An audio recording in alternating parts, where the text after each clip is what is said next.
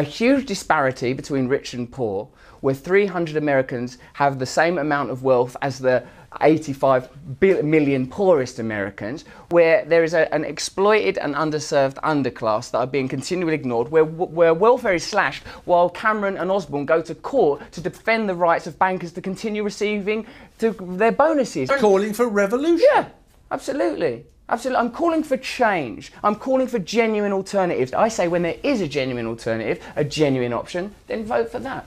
But until then, don't bother. Why pretend? Why be complicit in this ridiculous illusion?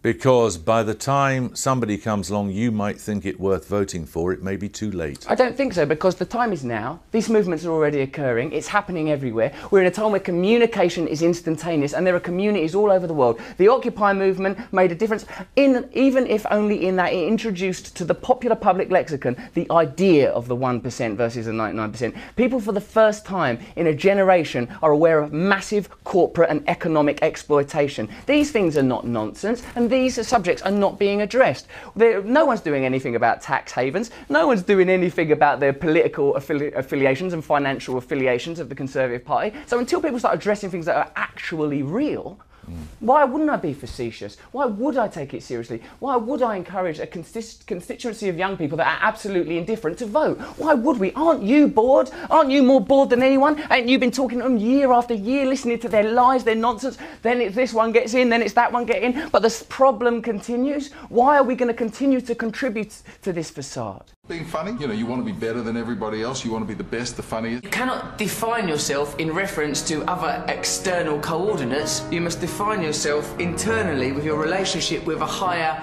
entity. Think of yourself as a manifestation of some higher thing, some higher frequency. This is the visible realization. And you know that because you can't see atoms, can you? And you certainly can't see the forces that hold atoms together.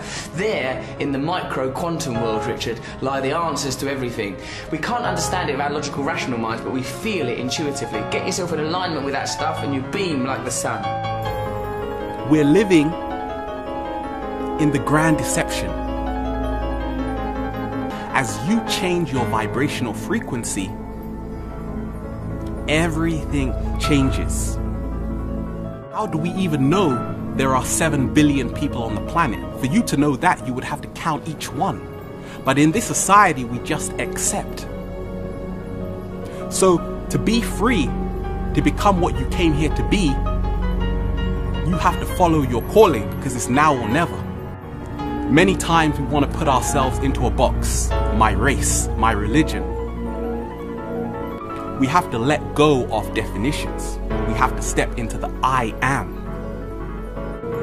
Right now, people are beginning to see beyond the Maya, which is the illusion text and drive. I look around, pretty much 100% of people driving are texting. Yes. And they're killing, everybody's murdering each other with their cars. Yes. But people are willing to risk taking a life and ruining their own because they don't want to be alone for a second. The thing is, I, you need to build an ability to just be yourself and not be doing something. That's what the phones yes. are taking away. Yes. Is the ability to just sit there like this. That's being a person, right? Yes. No one can, they gotta, uh, you gotta check the distraction is out there to take you outside of your element. Anyway, I started to get that sad feeling and I was reaching for the phone and I said, you know what, don't. Just be sad. Just let the sadness stand in the way of it and let it hit you like a truck. Just started to feel, oh my God. And I pulled over and I just cried like a bitch. I cried so much and, I, and it was beautiful. It was like this beautiful. It's just this sadness is poetic. You're you're lucky to live sad moments. And then I had happy feelings because because when you let yourself feel sad, yes. your body has like antibodies. It has happiness that comes. Right. I was grateful to feel sad, and then I met it with true profound happiness. I remember I see you in that program where you look at your ancestors and you saw that while your grandmother had to brass herself or got fucked over by the aristocrats who ran her gaff, you cried because you knew that it was unfair and unjust. And that was what was that a century ago. That's happening to people now. I just come from a woman who's being treated like that. I've just been talking to a woman today who's being treated like that.